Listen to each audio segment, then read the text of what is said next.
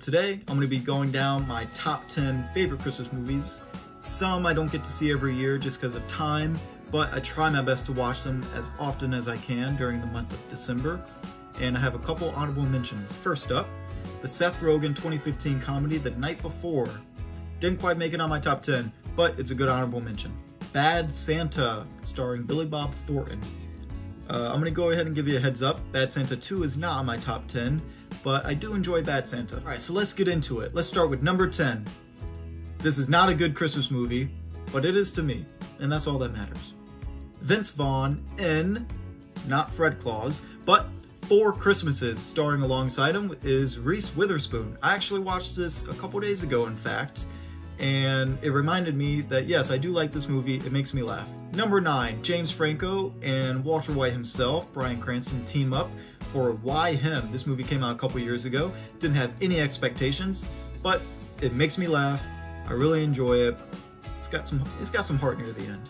Number 8, the classic animated Rudolph the Red-Nosed Reindeer. Who doesn't love this movie?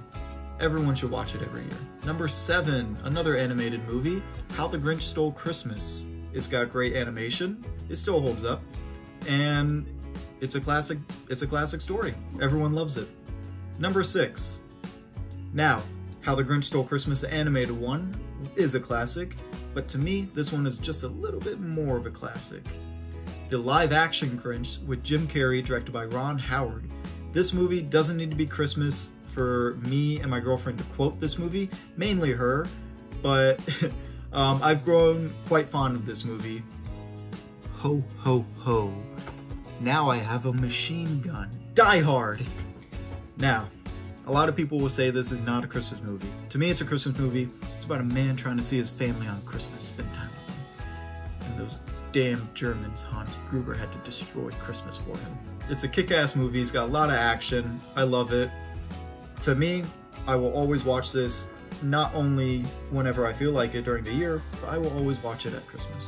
Number four, this was my favorite for a while, but it kind of went down in the ranks. Home Alone, starring Macaulay Culkin. Everyone knows how good of a movie this is around the holidays, and everyone watches it. I can't really get into detail and can't really say anything that hasn't been said before. Uh, it's got endless amount of quotes. It's hilarious.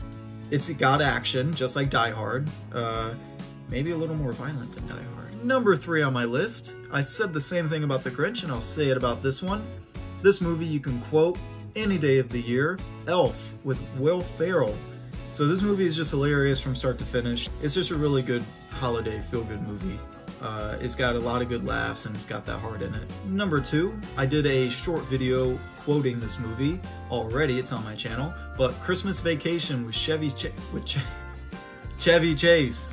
I don't know why I just botched his name. Who doesn't love the vacation movies? It was really nice to see them do something completely different other than going on another road trip to an exotic location or another trip to Wally World or whatever. So it was nice that the filmmakers had it a little more grounded and brought the vacation to them. Number one on my list, Ralphie, you'll shoot your eye out. A Christmas Story. Now, in my earlier videos, I did say, and I wasn't lying, I watched this movie in the summer. I watched it twice back to back. I would pop out the VCR, and then I put it right back in. This movie I can quote all day long. I could watch it all day long. If they ever remade this movie, I would give it a shot, just like any other movie.